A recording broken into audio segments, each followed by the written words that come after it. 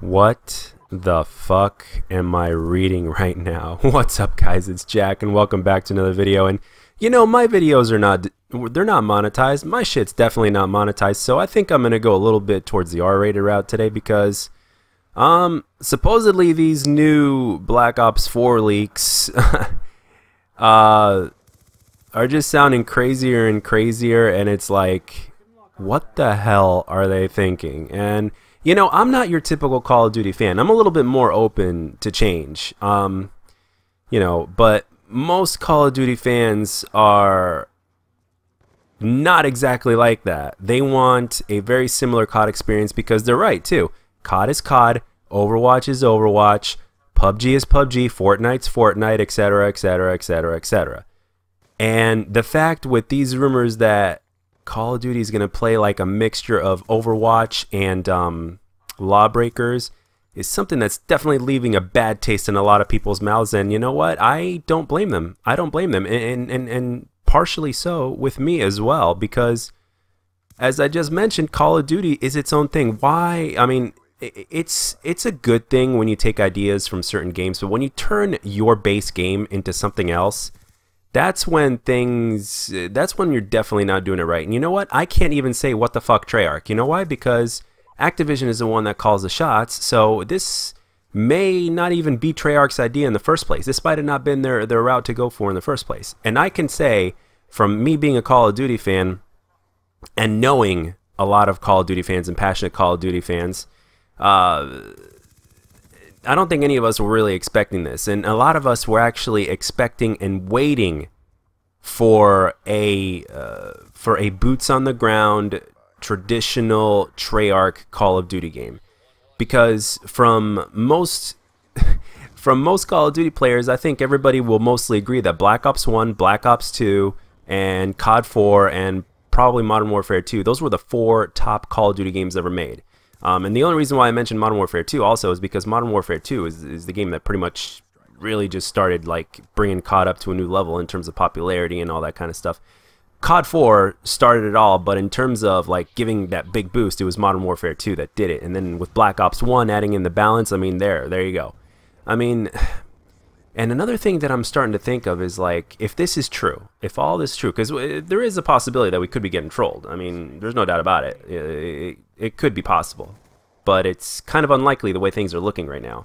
But uh, the thing is, what about the pros? And supposedly, since Black Ops 4 is going to be playing so differently now, and with all the different things that they've added and omitted and scaled back or whatever the hell that means, they uh, i mean what about the pros there i feel uh, let me tell you something if this is true i feel for these kids and the reason why, i mean i'm calling them kids because these people are on average 10 to 15 years younger than i am i'm 33 so the average pro player is going to be you know in their in their mid in, in their late teens at the earliest to let's say almost mid 20s so i mean and I feel for these guys because they've spent a lot of time. I mean, to be a professional Call of Duty player or a, or a professional video gamer or whatnot, it, it, takes a lot of dedication, a lot of time, skill, and these people have invested so much effort. And the thing is, when you change the base game and it comes becomes complete something completely different, it's like it's like basically saying a big fuck you to the pros. It, it, this goes beyond just pubs here because uh, this is also pros. I mean, and don't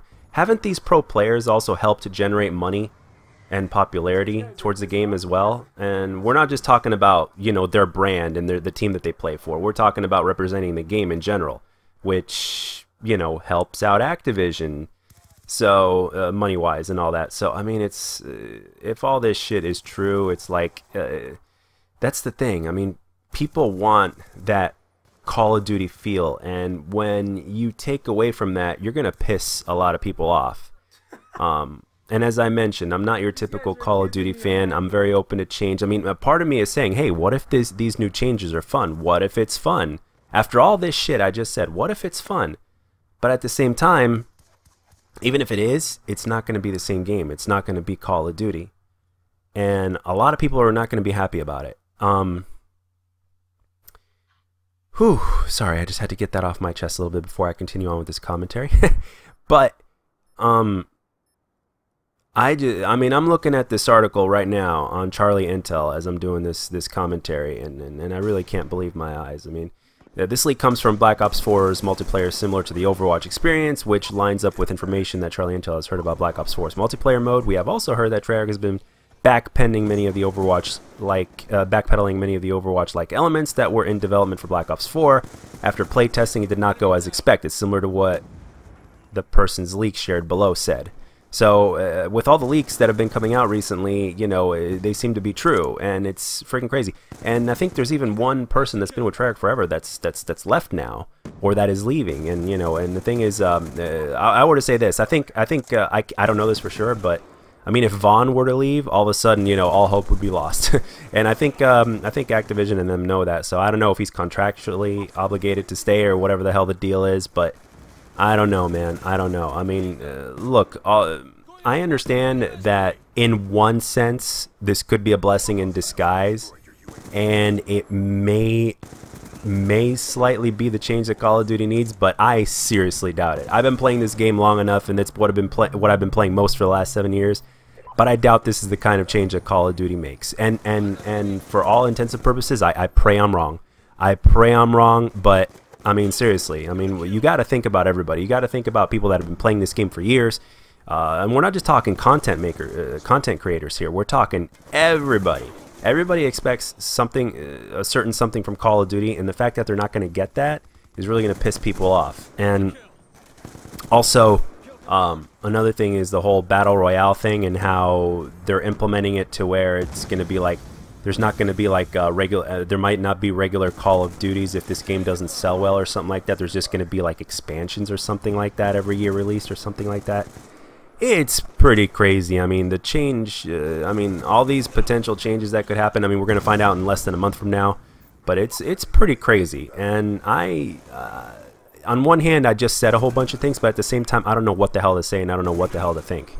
I mean, I'm operating on two or three hours worth of sleep here, and and after the God of War stream last night into the morning, I mean, I'm and and not feeling well. I'm just all over the place mentally and physically. It's like I thought about this in my head before I started making this video, and I don't know you know where to turn and what to say at this point because everything just seems to be all over the place. Call of Duty is, is, is turning itself into scrambled eggs right now, in a sense. So, um, a lot of the community, as of right now, from what I've seen on videos and, and, and all that kind of stuff, a lot of the community is not very happy. And I, quite frankly, I don't blame them.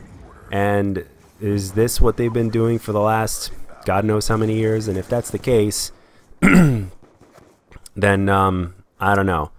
I mean, and, and the thing is, a lot of fans just want their Call of Duty fix every year. It's simple as that. And the fact that they're not going to get that, it's like, okay, what what game are they going to play now if they're not going to find what they're looking for with COD? So, uh, I mean, I'm just trying to look at this from every single person's point of view. Because you got the pros, you got the pub players, you got your zombies players, you got your, you know, uh, and you got your people in between, the casuals. And even casuals themselves, even though they may not know as much as like let's say you're you're very you're you're try hard, you know, pub player for instance, um, in terms of the in and outs and, and, and very specifics. I mean even those guys from Call of Duty itself, they, they expect something. And that's and that's why it kind of doesn't make sense to me. It's like, why would you even, if this, if these changes are true, why would you call it Black Ops 4? Because it, it'll have absolutely nothing to do with Black Ops 3 or even Black Ops 1. Even especially since it's already been confirmed that it's going to take place in the year 2020, and um, which is before Black Ops 2, and you're you're going to have advanced movement in the game and all these different things. So it doesn't make sense. So that's why part of me is thinking maybe we could be trolled. We could be getting trolled, but I don't know. All this stuff is, is slowly but surely seeming to point in the direction that you know everything that they're saying is is, is true. So I don't know. I kind of wanted to make this video to get it off my chest and to kind of give my thoughts. So my thoughts are all over the place. Again, I'm not your typical Call of Duty fan. I'm very open to change. And if it's fun, I'll stick with it. I'll play it. I don't care. All I care, the, the fir first thing that comes, that's the most important to me, regardless of what game it is, is the fun factor. So if it's fun enough, then so be it. But at the same time, with everything else that I've discussed here, I mean, you know, do the math. So anyway, those were my two thoughts, guys. Um, a lot more than two thoughts. So uh, I'm really glad I was able to make this video and kind of get this off my chest because it's definitely needed, and uh, I know I'm not the only one that's that's all over the place on this and, and, and kind of speechless in a sense uh, when it comes down to it.